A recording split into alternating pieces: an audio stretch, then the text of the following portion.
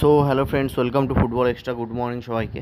আজকে সকালে প্রথম ভিডিও অনেক লেট হলো কারণ আমরা হসপিটালে তো ভিডিওটা শুরু করার আগে প্রতিদিনের মতো আরেকবার বলে নিচ্ছি সবার কাছে আমাদের হাত জোর করে রিকোয়েস্ট যদি আপনারা পারেন, আমাদের সহকর্মীর পাশে দাঁড়ান। তার মা ধীরে ধীরে সুস্থ হচ্ছে। তাকে বাড়ি নিয়ে আসার প্রস্তুতি চলছে। তো যত টাকা বিল হয়েছে সেটা শোধ করার জন্য। ইতিমধ্যে আপনারা জানেন অনেক দিন ধরে চিকিৎসা চলছে। তাই আপনাদের সবার কাছে রিকোয়েস্ট যে যতটুকু পারবেন, কোনো জোর নেই। সেই টাকাটাই এখন তার কাছে অনেক। তো যদি পারেন স্ক্রিনে দেওয়া অ্যাকাউন্ট ডিটেলসে বা ডেসক্রিপশনে দেওয়া অ্যাকাউন্ট ডিটেলসে আপনারা হেল্প করতে পারেন। তো যেটা বলার জন্য প্রথম ভিডিওটা করা। ফার্স্ট বলে নিই রবি ফাওলার সহ ইস্টবেঙ্গলের যে কোচিং স্টাফ আছে, তারা কিন্তু ওয়ার্ক ভিসা পেয়ে গেছেন। রবি ফাওলার সহ যারা কোচিং স্টাফ আছে, সবাই কিন্তু ওয়ার্ক ভিসা পেয়ে গেছেন। এবার দেখার যেটা বলা ছিল যে, পনেরো থেকে ষোলো তারিখের মধ্যে ইস্টবেঙ্গলের ফুটবলাররা সবাই চলে যাবে তার মধ্যেই হয়তো কোচও চলে আসবে।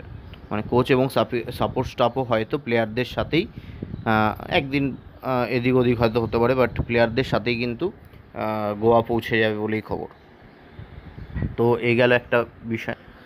এরপরে একটা সুখবর, সেটা হচ্ছে ইস্টবেঙ্গলের যারা দেশীয় স্কোয়াড যারা গোয়া যাবে, তারা তো অলরেডি একটা কোভিড টেস্ট হয়েছিল দশ তারিখ জানো কালকে একটা কোভিড টেস্ট হয়েছে মানে বারো তারিখ।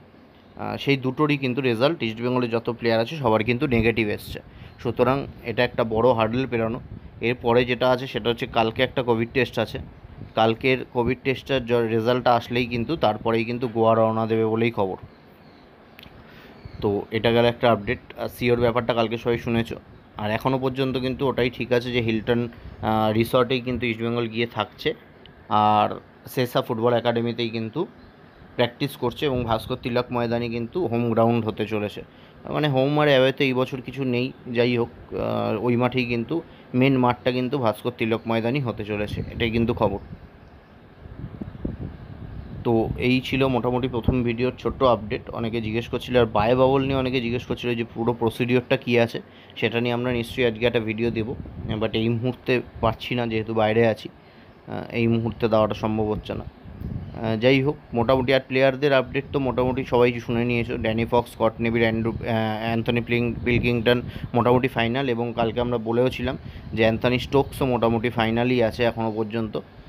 এখন দেখা যাক আর বাকি প্লেয়ার কারা হয়। কোলাডোকেও রাখা হচ্ছে বলেই শুনেছি। কোলাডো হয়তো থেকে যাবে এবং সেটা আট নম্বর বিদেশি না, সাত নম্বর বিদেশি হিসাবেই থাকবে। কোলাডোকে নিয়ে সাতজন বিদেশি হবে। কোলাডোকে যদি ছাড়া হয়, সেক্ষেত্রে কিন্তু আরও একজন মানে টোটাল সাতজন বিদেশি হবে। কোলাডোকে নিয়েও সাতজন, যদি কোলাডোকে ছাড়া হয়, সেই জায়গায় হয়তো কোলাডোর জায়গায় অন্য আরেকজন প্লেয়ার নিয়ে সাতজন। এই ছিল একটা আপডেট আর অমিত সিংয়ের ব্যাপারটা যারা জিজ্ঞেস করছে অমিত সিং কি ইস্টবেঙ্গলে খেলবে কি না? তবে হ্যাঁ অমিত সিংকে নিয়ে কিন্তু একটা জোর আলোচনা চলছে। এখন পুরো প্রসিডিওরটা কী আছে সেটাই এখন দেখার। কারণ ওসিআই এর এগেনস্টে ইন্ডিয়ান হয়ে খেলতে পারবে কি না, সেটা কিন্তু আমার আমার এই মুহূর্তে জানা নেই। কালকে অনেক কিছু দেখলাম। সেটা হচ্ছে passport can be like OCI যেটা আছে, সেটা কিন্তু পাসপোর্টের মতোই কাজ করছে। বাট সেটা পাসপোর্ট নয়। এটা আমরা কালকে বলেছিলাম ভিডিওতে, পাসপোর্ট। পাসপোর্ট নয় সরি তার জন্য। ওসিআই হচ্ছে ওভারসিজ সিটিজেন অফ ইন্ডিয়া তাদের একটা কার্ড বাট সেটা অ্যাজ এ লাইক পাসপোর্ট হিসাবেই কাজ করে। কিন্তু তা সত্ত্বেও কিন্তু তোমাকে পাসপোর্ট হোল্ড করতে হবে। এটা হলো মেন ব্যাপার।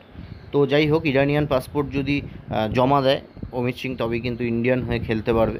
আর সেক্ষেত্রে হয়তো ইস্টবেঙ্গল তাকে নিলেও নিতে পারে, একটা ইন্ডিয়ান স্কোটায় উইঙ্গার থাকবে। তো এই ছিল মোটামুটি প্রথম ভিডিও যদি ভালো লেগে থাকে লাইক কমেন্ট শেয়ার করো। আর নেক্সট ভিডিও আসবে খুব তাড়াতাড়ি। অ্যানাউন্সমেন্ট নিয়ে আর বললাম না, কারণ অ্যানাউন্সমেন্ট নিয়ে প্রত্যেক দিন বলা হচ্ছে প্রত্যেক দিন মিলছে না। আপনারা অনেকেই জিজ্ঞেস করছেন যে, আপনারা মন গড়া ভিডিও বানাচ্ছেন। মন গড়া না আমরা যেরকম ভিডিওটা বানাচ্ছি, যে খবরটা আসছে সেটার ভিত্তিতে বানাচ্ছি, এবং শুধু আমরা না, অনেক জায়গাতেই সেটা বানাচ্ছে। বাট কি করা যাবে বলুন? এগুলো এফএসডিএলের ইন্টারনাল ব্যাপার, যেগুলো হাওয়ায় উড়িয়ে দিচ্ছে, সেই খবরগুলোই আমরা পাচ্ছি। তাই জন্যই সেটা মাঝে মাঝেই ভুল হচ্ছে, সেটা না। অ্যানাউন্সমেন্ট নিয়ে তাই জন্য আর কিছু বললাম না। অ্যানাউন্সমেন্ট হওয়ার কথা খুব তাড়াতাড়ি, সেটা দেখা যাক কত তাড়াতাড়ি হয়।